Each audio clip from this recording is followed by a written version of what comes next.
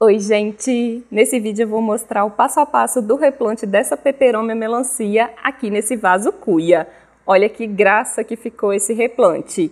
Essa planta estava em um vasinho bem pequeno, já estava com substrato velho, então ela estava precisando muito desse replante, de ser trocada de vaso e substrato. Vou mostrar como eu retirei ela do vaso, Vou mostrar o substrato que eu usei para plantar e também como eu fiz o plantio dela aqui nesse vasinho. Ela vai ter bastante espaço para se desenvolver bem e ficar bem lindona. Então, se você já gostou do tema, me acompanhe nesse vídeo. Bom, gente, olha aqui como está essa peperômia melancia. Já tem um tempinho bom que ela está aqui nesse vaso. Eu plantei ela aqui quando eu ganhei e ela era uma mudinha bem pequena. Ela está aqui com várias folhas velhas, precisando de uma limpeza e também precisando de um substrato novo. E tem um outro detalhe: olha aqui as folhas mais novas, elas estão bem menores que as mais antigas. Isso também é um sinal de que esse vaso aqui já não comporta mais o tamanho dessa planta. Tá faltando aí uma nutrição no substrato, então já passou da hora de fazer esse replante. Então, bora lá salvar essa peperômia melancia. Vou deixar ela aqui no cantinho e vou pegar aqui essa bandeja para retirar ela do vaso. Vou colocar ela aqui dentro e agora é só ir apertando aqui o vasinho para ela ir se soltando da borda do vaso. Como tem muito tempo que ela está aqui, ela deve sair com o torrão inteiro. Vou dar aqui uma viradinha e vou puxar. Olha aí, saiu com bastante facilidade e olha como tá esse torrão, bem compactado. Isso aqui também é um sinal de que já está passando da hora de fazer o replante. Agora eu vou desmanchar aqui esse torrão, porque as raízes já estão velhas e também está muito compactado, então eu preciso estimular um enraizamento novo nessa planta. Então eu vou apertando aqui para a terra ir se soltando. Ela está com tanta folha que nem está dando para ver direito, mas é só ir apertando aqui e afofando a terra, não tem muito segredo. Mas eu vou fazer o seguinte, eu vou retirar essas folhas mais antigas. É bem fácil de retirar as folhinhas, é só ir dobrando elas que elas quebram. Vou retirar todas essas folhas antigas, aí vai dar para ver melhor aqui a limpeza que eu estou fazendo nas raízes. Essas folhinhas aqui brotam, se você plantar na terra, ela enraiza. A maioria das peperômias, elas brotam por folhas, principalmente essas que têm as folhas mais grossas, que guardam mais água nas folhas. Elas são plantas suculentas, então esse tipo de planta costuma brotar mudinhas a partir das folhas. Então aqui eu estou fazendo a limpeza das folhas mais antigas, essas folhas que estão moles, mais amareladas.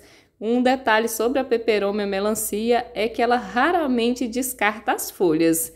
Então essa daqui tem folhas desde quando eu plantei ela, por isso que eu estou tirando tantas folhas. Terminei aqui de tirar as folhas mais antigas, agora vai dar para ver direitinho como limpar as raízes.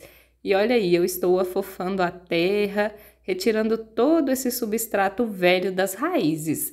Eu vou cortar essas raízes mais antigas também. Eu quero estimular nela o enraizamento novo. E se eu plantar ela com essas raízes aqui, que estão mais velhas, provavelmente essas raízes vão secar. Então, é melhor já cortar elas de uma vez. Peguei aqui uma faquinha e agora eu vou cortar esse excesso de raízes. Eu não vou cortar todas as raízes, mas esse excesso aqui que está solto eu vou retirar. Eu estou fazendo uma limpeza boa nela e isso aqui vai fazer muito bem para essa peperômia melancia ela vai soltar raízes novas e vai soltar folhas novas também. Terminei aqui de fazer a limpeza, vou deixar ela aqui no cantinho. Agora eu vou limpar aqui essa baguncinha da mesa. Olha aqui o tanto de folhas que eu retirei dela. Eu ainda não sei o que, que eu vou fazer com essas folhas. Como eu disse, elas brotam, mas se eu for colocar isso aqui tudo de folha para brotar, eu vou ter peperômia melancia demais e não vou ter onde plantar. Eu quero até mostrar aqui uma experiência que eu fiz. Essas aqui são folhinhas que eu plantei aqui nesse vasinho com substrato e olha aí o tanto de brotinho. Agora é hora de plantar essa peperômia melancia em um outro vaso. Vou usar aqui esse vaso cuia, acho que é uma cuia 25, 26, ela é toda furada. Isso é importante para escoar a água da rega. Vou colocar aqui essa manta de drenagem ou manta de bidim. Ela é totalmente permeável, eu só uso para o substrato não vazar nos furos de drenagem. Aí eu coloquei ela aqui no fundo do vaso, cobrindo os furos. Deixa eu mostrar aqui o substrato que eu vou usar.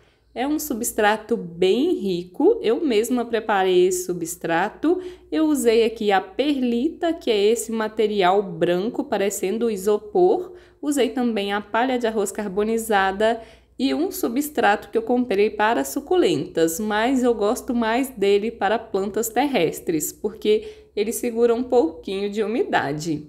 Vou deixar o substrato aqui no cantinho e vamos começar a plantar essa peperômia. Eu vou começar colocando um pouco de substrato aqui no fundo do vaso. Vou fazer uma camada boa de substrato porque ela não tem muitas raízes. Então, eu vou colocar substrato até mais ou menos a metade do vaso. Olha aqui para você ver o tanto que eu coloquei. Agora eu vou pegar aqui a peperômia melancia e vou posicionar ela bem aqui no centro desse vaso. Ela é uma planta que entoucera bastante, então ela vai ter bastante espaço aqui ao redor para soltar novas brotações. Agora eu vou pegar aqui substrato e vou preenchendo aqui em volta da planta aos poucos. Aí eu vou levantar aqui as folhas da peperômia para não sujar essas folhas e vou despejar o substrato. Aí eu vou ajeitando esse substrato com a mão mesmo. Vou pegar mais substrato e vou colocar aqui do outro lado dela. Aí é o mesmo processo. Eu levanto aqui as folhinhas com a mão e despejo o substrato. Depois eu vou ajeitando esse substrato até cobrir todas as raízes e preencher todo o espaço aqui do vaso. Essa cuia parece pequena, mas ela não é tão pequena. Acho que cabe aqui uns 4 litros de substrato tranquilamente. Enquanto eu vou preenchendo aqui com o substrato, eu já peço o seu like, porque seu like é muito importante para mim. E aproveita para se inscrever aqui no canal e ativar o sininho das notificações, porque toda semana tem um vídeo novo por aqui falando sobre o cultivo das plantas. Muitas pessoas relatam aqui nos vídeos do canal que a peperômia melancia é uma planta difícil de cultivar. Eu não acho ela difícil de cultivar. O segredo dela está no substrato e na rega. Quando você for fazer o replante da sua peperômia melancia, use um substrato bem drenável, bem fofinho, igual esse daqui, e a rega você tem que fazer moderadamente. Ela é uma planta que não tolera ficar muito encharcada. Então, se você planta naquele substrato que segura a água demais e rega muito, provavelmente a sua peperômia melancia vai apodrecer. E é por conta disso que muitas pessoas perdem essa planta.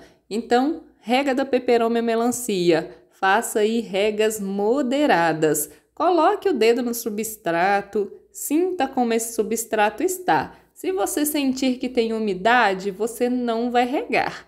Agora, se você sentir que ele já está totalmente seco, você faz a rega. Um substrato igual esse que eu estou usando aqui, por exemplo, ele vai demorar aí uns 3, 4 dias para secar, mesmo eu tendo feito ele bem drenável.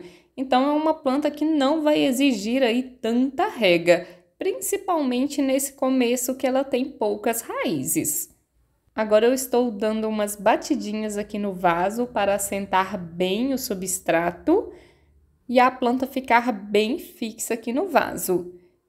E olha aí, ela já está plantadinha aqui no novo vasinho com o novo substrato. Agora ela vai ter bastante espaço para se desenvolver bem, vai soltar folhas novas e vai ficar bem lindona. E com certeza, quando ela estiver bem linda, eu vou mostrar ela aqui no canal. Bom, gente, a peperômia melancia já está aqui plantadinha e olha que charme que ficou esse replante. Já me conta aí nos comentários o que você achou. E qualquer dúvida que você tiver, pode deixar aí nos comentários que eu estou sempre respondendo.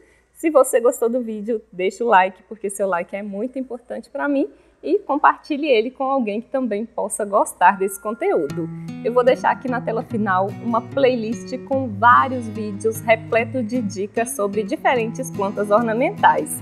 Eu espero por você nesses vídeos. Tchau, tchau!